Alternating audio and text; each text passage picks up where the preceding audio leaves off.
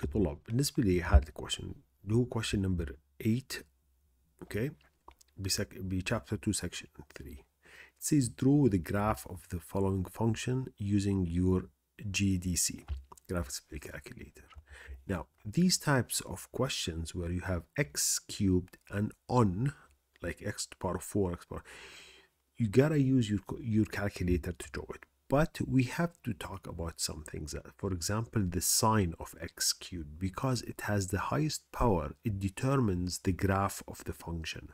Now because it is positive it comes up like this and goes down like this and goes up like this. This is the x-axis. Let me just throw colors. This is the x-axis and this is the y-axis. Let's suppose like this. So this graph intersects the x-axis in three different points. Why? Because it is x cubed. Is it always the case like this? No. Because the graph of x cubed by itself, it looks like this. If I change the color, look, it goes like this and goes like this.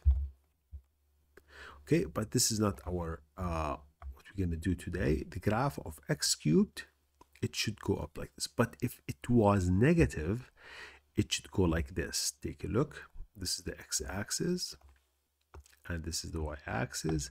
So if it was negative, it comes down like this and then goes up like this and goes down like this. You have to memorize this, students. Okay, that's for part A, and you can check your answer in the mark scheme. If you take a look at the mark scheme, there we go. The mark scheme. Look, mark scheme. Take it down.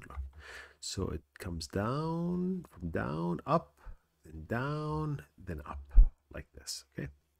Now for the second part, x to the power of 4. Now this is similar in a way to the parabola. So this is the supposed x-axis. We draw the x-axis. This is the x-axis and this is the y-axis.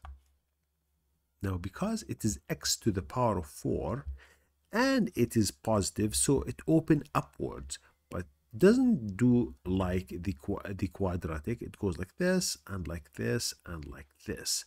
So it cuts the x-axis at four different points and the reason why because it is x to the power of 4 so Remember the students, when you have x to the power of 3, most of the graphs intersects the x-axis at three different points. If it was x to the power of 4, most of the graphs intersects the x-axis at four different points.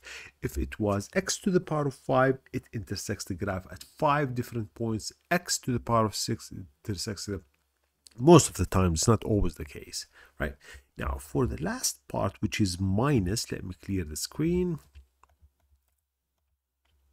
now, because it's minus, it's the same as the parabola that opens downwards. So it can go like this, like this, something like this, and something like this. Then it goes down. So if I want to extend this a little bit.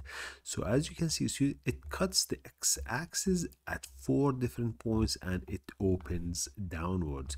Take a look at the mark scheme, students. Look, that's the mark scheme. See? So that's our last graph. So it intersects the x-axis at four different points. So you should have an idea of how the graph is going to be before you graph it so you get your answer correctly.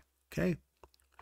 Let me know, Tulab, if you have any questions regarding this particular question by clicking on this. Help me with this question. This one will will uh, ask you to go at the end of the page here where you can post your question number and your comments. Okay? Thank you for watching and going to the next question.